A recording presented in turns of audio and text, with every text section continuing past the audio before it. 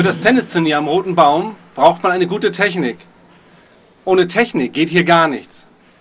Wir sind die Technik.